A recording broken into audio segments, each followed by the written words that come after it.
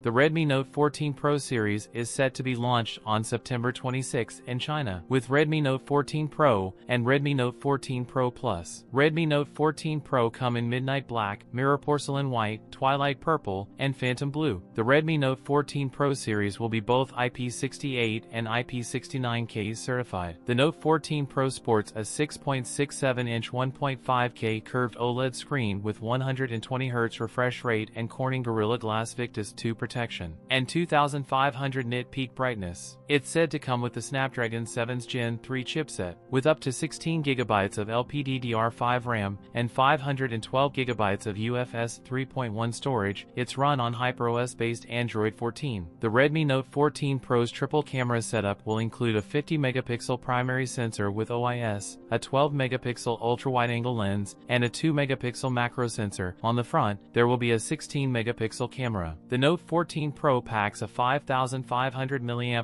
battery and supports 67W rapid charging. That's it for today's video. If you enjoyed it, don't forget to like, comment, and subscribe for more content. Thanks for watching, and I'll see you in the next one.